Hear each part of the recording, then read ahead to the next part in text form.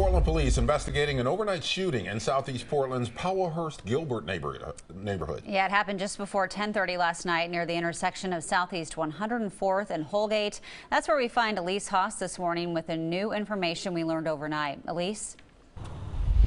Yes, Ken and Jenny, this morning is when a Portland police officer confirmed to me that the man who was shot last night has died from his injuries. And in the last hour, Portland police have reopened 104th Avenue. This is between Long and Holgate after they had closed it down and had been investigating for more than five hours. I also want to give you an idea of what this scene looked like around 1030 last night when the shooting happened. There was a very heavy police presence out here last night as they were looking for that shooter so police say that they found one man who was suffering from at least one gunshot wound. He was taken to the hospital in serious condition, but like I mentioned, has since died from those injuries. So Portland police searched for more than an hour for the shooter. They weren't able to find anyone. The officer told me that they had their gun violence reduction team out here, but they say it's too early to tell if this shooting is gang related.